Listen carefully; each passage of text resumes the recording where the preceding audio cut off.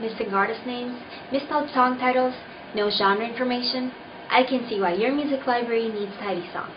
Hi, I'm Becky and I'll show you how easy it is to whip your music into shape with Tidy Songs. The program connects to a huge online music database and it can fix your music automatically. Tidy Songs fixes any misspellings in your music library and it even adds information your music might be missing, such as album name or release year. And all you have to do is sit tight and watch Tidy Songs do all the work. So what are you waiting for? Go to tidysongs.com, download the application and start cleaning your music right away. Make your music look good again.